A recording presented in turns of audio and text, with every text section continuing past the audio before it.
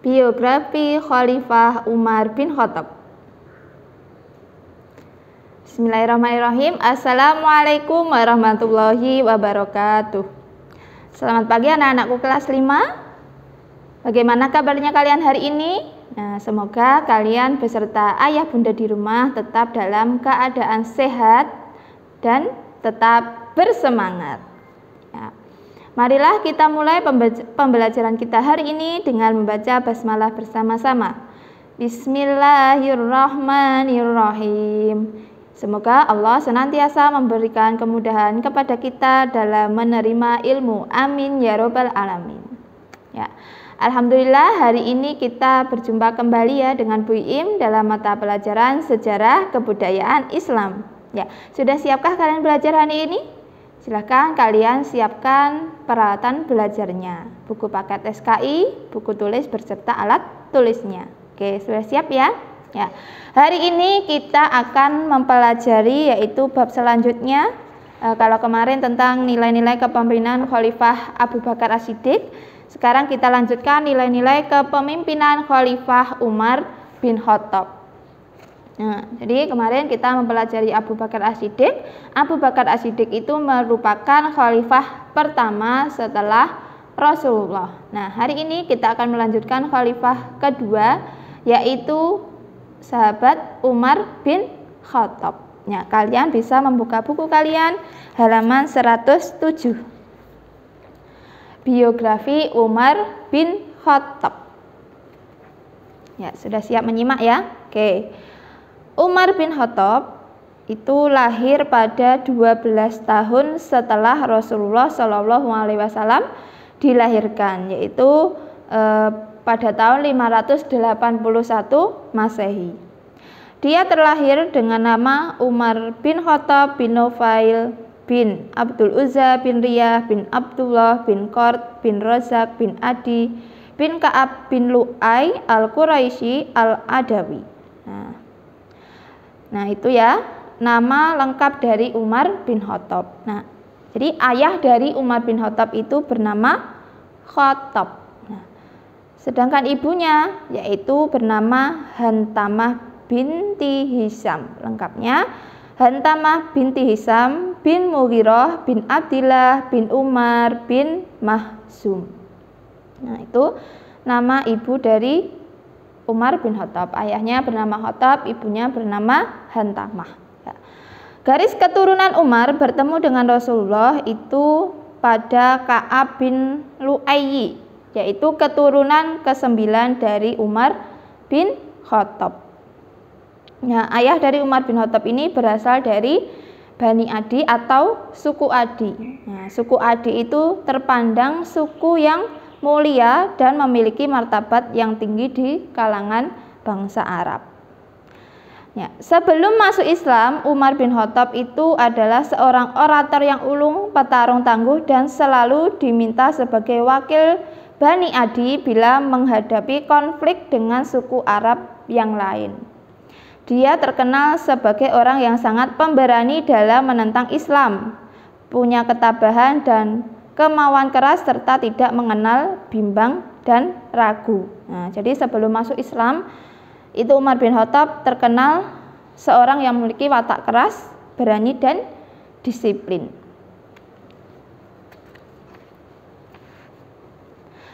Di samping itu, Umar bin Khattab juga memiliki kecerdasan yang luar biasa. Ia mampu memperkirakan hal-hal yang akan terjadi di masa datang bicaranya fasih dan tutur bahasanya juga halus. Nah, oleh karena itu ia sering dipilih menjadi wakil kabilahnya untuk melakukan perundingan-perundingan dengan suku lain.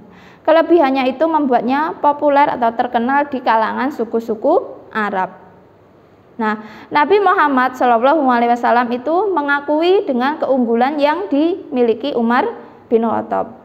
Ia seorang pemuda yang gagah berani, tidak mengenal takut dan gentar, tabah serta berkemauan keras. Nah, dalam sebuah kesempatan Nabi Muhammad itu pernah berdoa, "Ya Allah, kuatkanlah Islam dengan salah seorang dari Amr bin Hisham atau Umar bin Khattab." Nah, doa Nabi Muhammad SAW dikabulkan Allah dengan Islamnya Umar bin Khattab pada tahun 600 Masehi.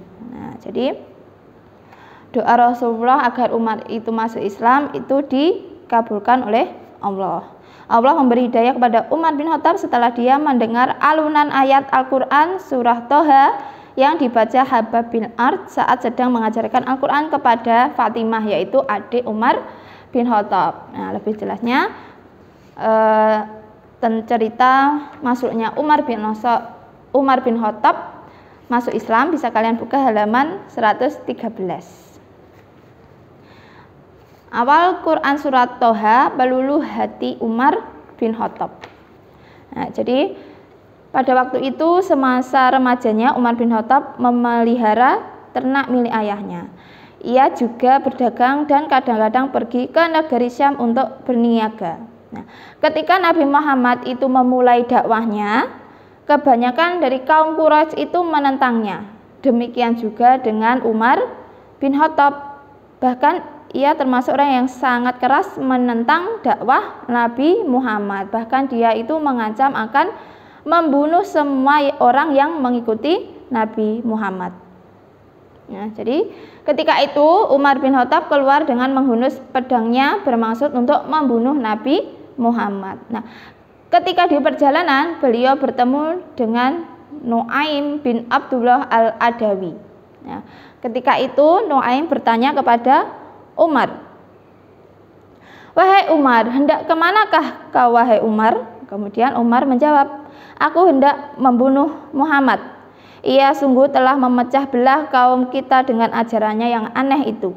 Nah, kemudian Nuaim menyahut, "Mengapa tidak kau mulai dengan apa dari keluargamu sendiri? Sesungguhnya Fatimah binti Khattab dan Said bin Zaid telah masuk Islam." Nah, jadi Nuaim itu di perjalanan memberikan informasi bahwa adiknya itu telah memeluk Islam. Kemudian eh, Umar bin Khattab bergegas. Umar bin Khattab menemui adiknya dengan penuh kemarahan dan memukulnya hingga berdarah saat adiknya belajar Al-Quran surat atau surah Toha, surah Toha. Ya. Kemudian Umar bin Khattab itu merampas apa yang sedang diajarkan oleh Hubab bin Ard kepada Fatimah. Nah, kemudian Fatimah berkata seperti ini, wahai Umar, nah lembaran-lembaran ini tidak pantas uh, dibaca oleh orang seperti kamu. Nah, kalau kamu ingin membacanya silahkan kamu membersihkan diri terlebih dahulu. Nah, setelah membersihkan diri, Umar bin Khattab membaca isi awal surat Toha, kemudian memuliakan bacaan tersebut setelah hidayah Allah menyentuh sanubarinya. Nah, di antara ayat yang dibaca adalah sebagai berikut. Ya, kita baca bersama ya. A'udzu billahi minasyaitonir rajim. Bismillahirrahmanirrahim.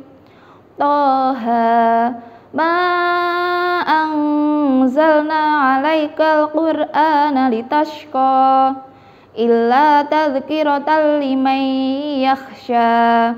Tanzilam mimman khalaqal arda was samawati ula.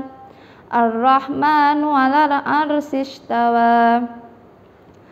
Lahu ma fis samawati wa ma fil ardi wa ma bainahuma wa ma tahta tsara. In tajhar bil qawli fa innahu ya'lamu sirra wa akhfa. Allahu la ilaha illa huwa lahul asmaul husna. Sodakallahul adim. Nah, jadi itu ya ayat yang dibaca oleh Umar bin Khattab yaitu surat Toha ayat 1 sampai 8 yang artinya seperti ini. Toha, kami tidak menurunkan Al-Quran ini kepadamu agar kamu menjadi susah, tetapi sebagai peringatan bagi orang yang takut kepada Allah diturunkan dari Allah yang menciptakan bumi dan langit yang tinggi, yaitu Tuhan yang Maha Pemurah yang bersemayam di atas ars. Kepunyaannya lah semua yang ada di langit, semua yang di bumi, semua yang di antara keduanya, dan semua yang di bawah tanah. Dan jika kamu mengeraskan ucapanmu, maka sesungguhnya dia mengetahui rahasia dan yang lebih tersembunyi.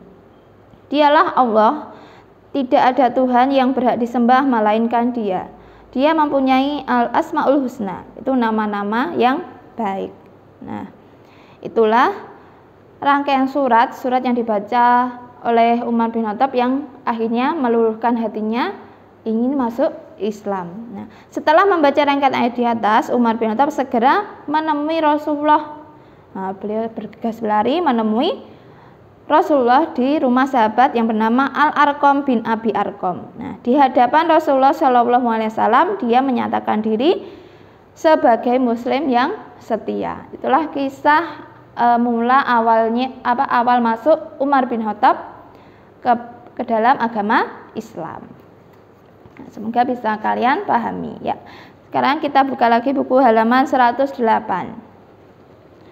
Khalifah Umar bin Khattab itu wafat atas tikaman seorang majusi Abu Lulu'ah al-Fairus yang bernama itu ya seorang majusi yang bernama Abu Lulu'ah al-Fairus yaitu seorang budak Mughirah bin Su'bah saat sholat subuh pada 25 Zulhijjah 23 Hijriah atau 644 Masehi dalam usia 63 tahun. Jadi Umar bin Khattab itu wafatnya pada usia 63 tahun. Wafatnya karena apa?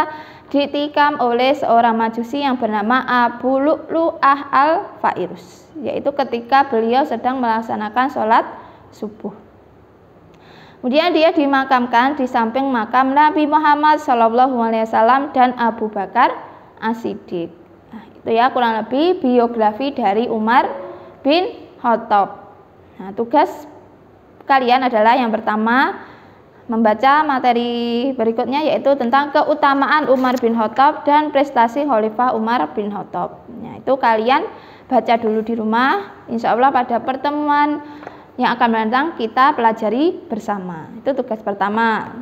Kemudian tugas yang kedua, silahkan kalian membuat lima soal dan lima jawabannya. Jadi kalian membuat soal beserta jawabannya, yaitu lima soal di buku tulisnya dari materi yang Bu Iim sampaikan hari ini. Semoga materi yang Bu Iim sampaikan hari ini bisa bermanfaat dan bisa kalian pahami. Amin ya robbal alamin. Ya, cukup sekian. E, apabila ada tugas segera kalian kerjakan, kalian laksanakan. Jangan suka, suka apa jangan suka menunda tugas karena nanti kalau ditunda-tunda tugas yang lain akan menumpuk dan kamu malas untuk mengerjakannya. Ya, jika sudah selesai mengerjakan soal atau tugas, segera diteliti, difoto dan dikirim ke wali kelas masing-masing. Cukup sekian dari Bu In, tetap semangat belajar, patuhi protokol kesehatan dan jangan lupa sholat lima waktu. Mari kita akhiri dengan membaca hamdalah bersama. Alhamdulillahirabbil alamin. MI Krishna is the best. Wassalamualaikum warahmatullahi wabarakatuh.